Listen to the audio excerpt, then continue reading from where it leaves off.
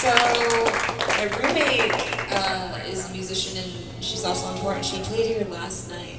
Isn't that weird? It's weird to me.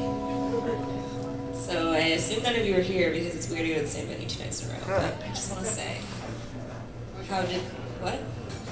How did she know? Uh, yeah. So that's that's my Cleveland story. So my roommate played here last night. This very stage.